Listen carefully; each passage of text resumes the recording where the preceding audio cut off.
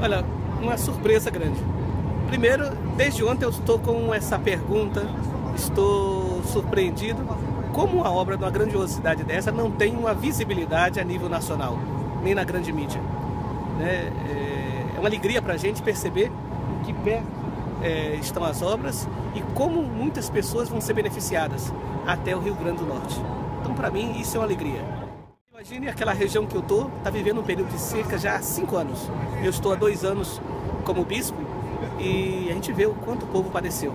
É bem verdade que o, o homem do seridó ele tem um, um temperamento forte, consegue enfrentar isso, mas a alegria do, é, do sertanejo é ver, ver chuva. Tanto que para eles um tempo bonito é um tempo com chuva. E agora vai possibilitar tirar, é, aprender a conviver melhor com o semiárido é, e aprender a viver com, com o ciclo da seca, se, se você tem garantia dessa água que vai chegar através da transfusão. Então eu acho que é uma obra que a gente fica muito encantado né, e torcendo para que o mais rápido possível essa água possa chegar lá na nossa região, no Seridó.